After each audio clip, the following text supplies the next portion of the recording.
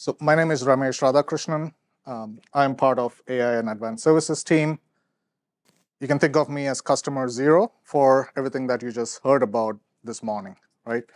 So I think Jake did a great job of explaining um, the basic value prop for VMware Private AI.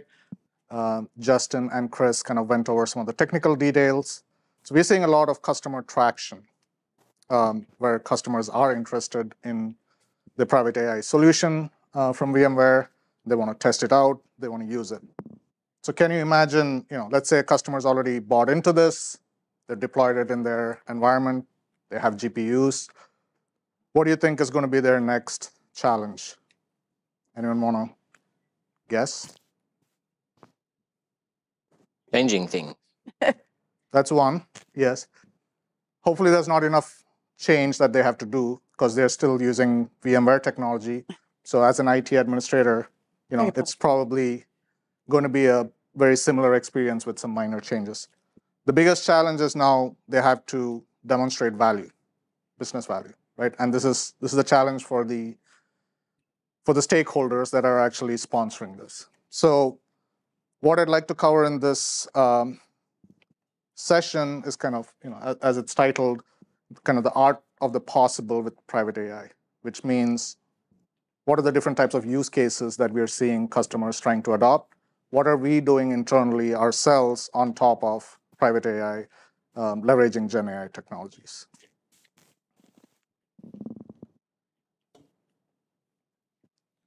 So there's a lot going on in this uh, slide. So everything that you heard about this morning is at the bottom of this uh, this slide here or this figure, right? So this is your VMware Private AI Foundation. You have your GPUs, they're being managed. From an infrastructure team perspective, you know, we saw all the cool capabilities that is built into the product. Now the challenge that is presented to the, you know, the app developers, the data scientists, everybody else that's actually leveraging this is how do you build these applications? How do you leverage all these amazing capabilities that now are exposed to you because you have GPUs, right? So in my team, you know, it's actually comprised of infrastructure folks, uh, system administrators, software developers, and data scientists. And our one of our customers is the rest of VMware. So it's all internal stakeholders today. These are other teams that have data scientists, that have machine learning engineers, and now with Gen AI, it's also software developers who want to, to use AI uh, capabilities. So this is kind of just a snapshot at the top of the different type of services and capabilities that we offer on top of this platform.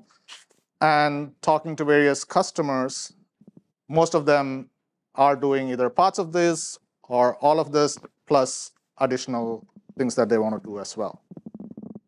So the way to look at this is, you know, if you go from left to right, it kind of exposes the GPUs and gives GPUs to end, end users. So in this case, we have a Jupyter notebook environment, which provides Jupyter uh, notebooks as a service, and then provides access to GPUs to those users if they wanted, right? And we can slice and dice the GPUs. They can go and pick what, what um, memory size they want.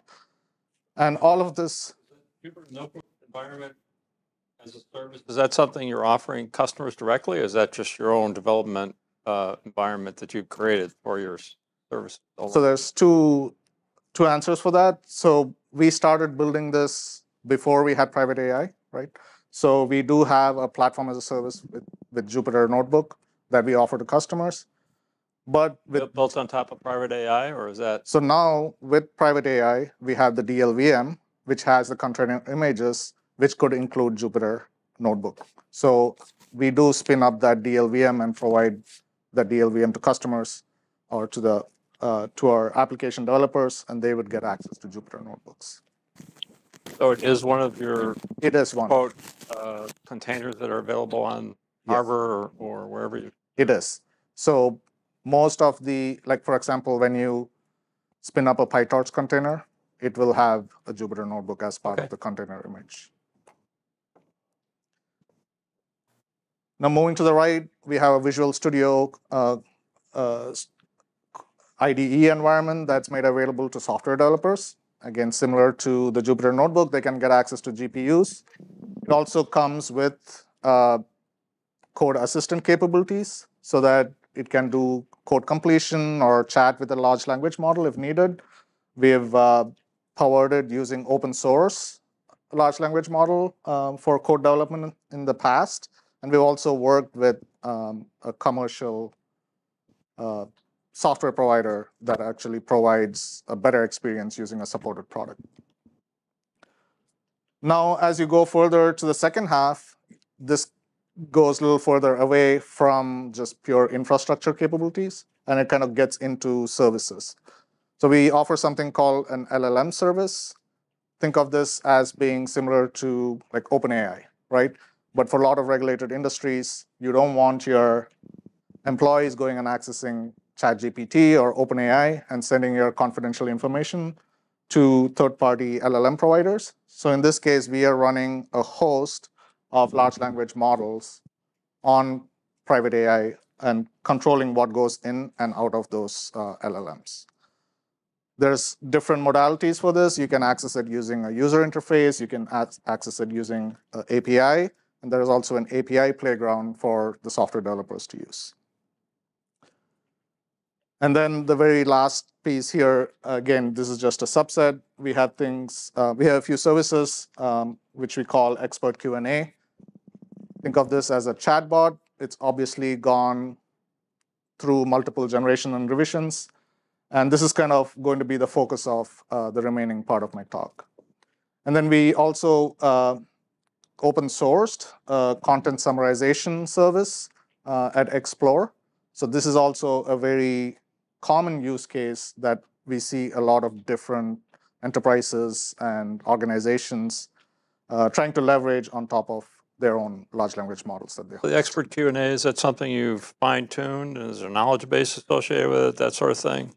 Yeah, so yes, and I will actually cover that in the rest of the slides and go through the different phases that we went through uh, and what's going to be the end goal, because uh, we are still kind of working on how to, uh, to actually improve that.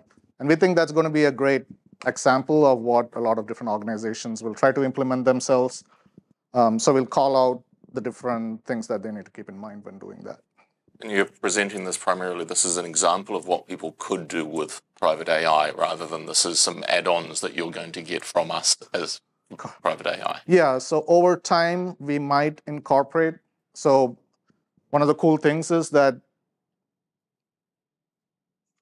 part of my organization and also, um, you know, we are, we are part of the same R&D team that builds private AI. And like I said, we are customer zero, so there's a very strong feedback loop um, that that I did, did, want to differentiate this. Is, is this what you're shipping us today versus is this an example of, of what I as a customer could build? Because that is really significant. Correct. Yeah, that's a great point. So what you saw so far, all the screenshots, everything is what is part of the product. Some of the screen, some of the demos that you will see are things that we built on top of that product. And again, there's, you know, you get to 80% of what you need in terms of I need to host a large language model. But now things that you need to build on top of that, you need to have the software developers and application developers to do that yourself. Cool. Any, so one thing I'll call out here is that GPUs, again, I think this point has been brought up multiple times. Um, we have multiple classes of GPUs. The cool thing is all of this is in one large cluster, uh, and it's all managed by VCF. We don't have to carve off different GPUs for different projects, for different users, different organizations.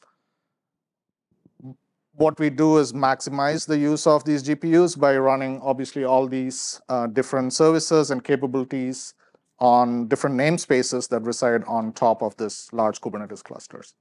And then there are one-off use cases where a team might need to do a special POC. Because we're running on top of VCF, we can really quickly just take off those GPU nodes from outside the Kubernetes cluster, offer them as virtual machines to these teams. They do their thing. We add them back to the GPU pool. So all of this makes it really easy for us to keep the utilization of these GPUs close to 100%.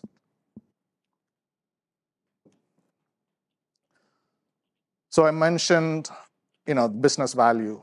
right? And how that is what um, a lot of these organizations and stakeholders had to uh, to achieve.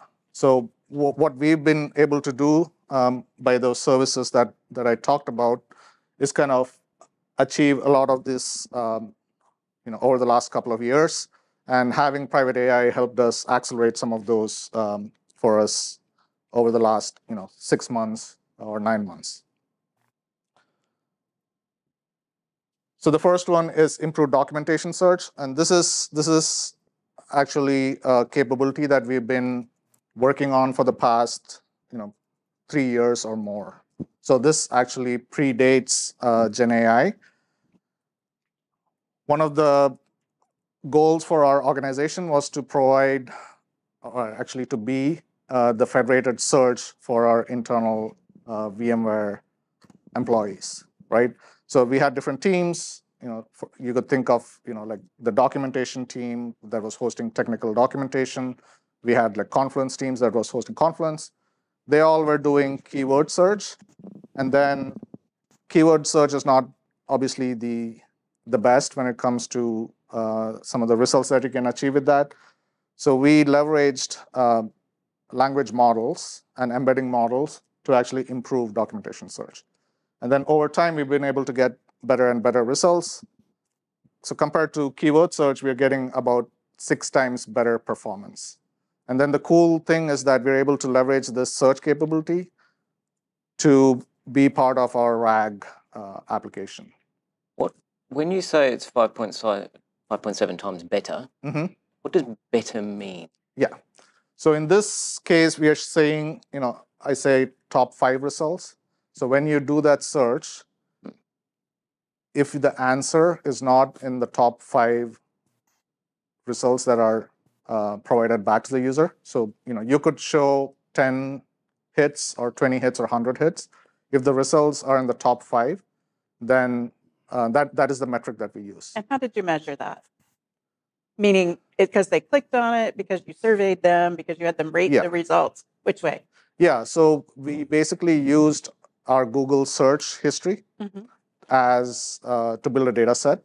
So any Google search that resulted in them landing on any of our documentation or our pages was used to create a data set. Yeah, and that's what I like And then- landing on. What does Yes. that mean? I'm sorry to get. I'm trying to understand the data that you're talking about. Correct. So when I say landing on, it's you know there's 50 different portals that we actually index, Mhm. which includes our knowledge base. So again, this is Yeah, public, yeah. um, publicly available data. So it's our knowledge base, it's our technical documentation, it's our marketing documentation. So all the VMware search solutions that are available publicly to customers in the world uh, use this new facility that you're talking about? Uh, they don't.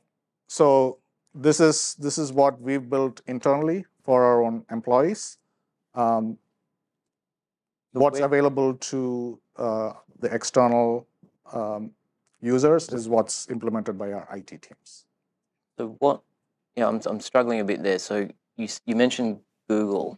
Yes. what So but this is this is internal. This is internal. So we needed to build a test data set. So it's very important to actually measure uh, and compare if you're if you're trying something different. yeah. So in this case, in order to understand what was, you know, what are folks like yourself searching for that lands you on our content, right? So that was used as the set of So you tests. okay? So those questions, like you might go to Google and type, Yep. you know, how do I uninstall vSAN? Okay. And that lands you on our Sure. yeah. Yep. So that's a question that we use. So if you do keyword search, if if that right page is not presented to you in the top five results of your Google search, right? Or in the keyword search that's implemented in our own technical documentation site. And we compare that against uh, the semantic search here. Which So- is internal. It's just internal. Okay. So they're not the same thing. So we were you using Google previously? to Do the internal search? Yeah, so so let me rephrase this. So what we did is we provided an internal service called the VMware Expert um, or VMware Automated Question Answering System, which are which is available to internal employees. And when they use that interface, and I'll, I'll actually show a demo of that, they're getting five times better search results than if they use uh, like a keyword search based something like Google today. And obviously, So if you Google- use the internal thing, you get you'll get an answer better than if you use an external thing. If you use Google externally, yeah, because it, this is fine tuned for specifically for VMware. and is that recent Google or is that Google when it was good? Yeah, this was this particular result was two years ago. Obviously, today Google's Google's leveraging some AI capabilities as well. So if we redo those results, it would be probably be closer. Some of the other use cases is you know leveraging our summarizer capability, for example, to uh, to you know in, in in cases where we are looking at customer feedback that is provided like online, for example, you can think of how this is going to be a large amount of text sometimes, and then there's obviously a large volume of uh, this that is provided back as well. So we are able to summarize that and gather the, the critical information, provide that back to product teams. Really quickly show a quick demo of the, the expert tool that I was talking about. There's multiple use cases for this. Again, this is an internal tool today, but eventually we want to, I, I- think you brought up uh, making this available as part of private AI. This might be something that we would, um, you know, work with our product management team to see if there is demand for this and how this can be made available uh, to our customers. So when we started this journey, it was, like I said, it was basically replacing search uh, using an embedding model. So this is the interface. It looks like a typical search interface. Might look similar to Google. Um, so let me type, you know, what is a hypervisor? So the way the original search worked is that, you know, it would give you back the relevant passages from the from the knowledge base, and it would highlight the answer for you, right? So it's software that run creates and runs virtual machine. So this is a, kind of a typical search query and search result. It's using a language model to kind of highlight what the answer is in the passages that are returned as hits.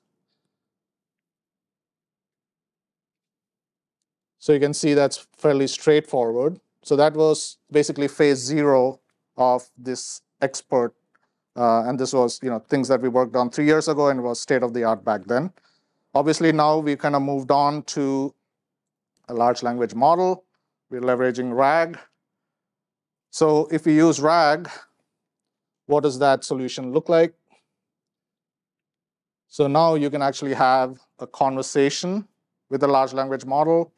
We are using that search capability that I just demonstrated to provide the relevant documentation or knowledge to the large language model so that it can produce the right content for you. So now when I type in the same question, did I type that right? No, it's actually going through all the relevant documentation that's being fed to the large language model. It creates the answer for you. And it gives you a lot more uh, information as well. So one of the cool things here is that, you know, like I said, this is an internal, this is an internal tool, so we can look at both internal and external um, content. So in this case, I should actually switch to external only because I'm glad I just typed in a very simple question like what is a hypervisor. Uh, if I did something else, it might have pulled results from a Confluence page that would have uh, might have shown you things you shouldn't be uh, privy to. So, so this is where we are today. Um, we are looking at advanced RAG techniques. Um, so one of the ones that's looking very promising is what's shown here in phase three called corrective RAG. Uh, the way that this works is it looks at the results that are presented from search. So as you can imagine with RAG, your answer is only going to be as good as the documents that are provided from your search. And what we've seen is that the best that we're able to get using search is at around 70%, right? So one third of the time, you're not the LLM is not provided with the right answer, and it could hallucinate. And we found that it's actually able to hallucinate pretty well. We tested this with our support engineers. There were some queries where the LLM was hallucinating because the search didn't have the right uh, documents provided back to the model. And they had to actually go look up the documentation to make sure that there wasn't something new in the VMware product that they didn't know about. It was that good at uh, generating that answer. Yes, exactly. So, in the interest of time, let me just quickly jump into um, what we're doing in next stage after corrective RAG, right? So this is, uh, if you like I mentioned, the retrieval has to be really good, but you're not going to get more than you know two two thirds of the time the right answer. So one of the things that we are looking at doing, and this is something that is kind of state of the art today, there's a lot of post training that's happening on these large language models to embed the knowledge into that. So we are, you know, this is what we are calling our automated perpetual expert. We are basically building a VMware model. Again, this is for our own use cases, but this is all being done on top of private AI, right? So if you have the GPUs, in order to actually do this kind of post-training, fine-tuning, instruction tuning, you can still use the GPUs that you have. Um, it takes, you know, for us, we we trained on VMware documentation, which was about uh, 30 million tokens. It took us two and a half hours to train on a, on like four GPUs. So this is within the grasp of all these organizations that want to build a better model for their own RAG applications.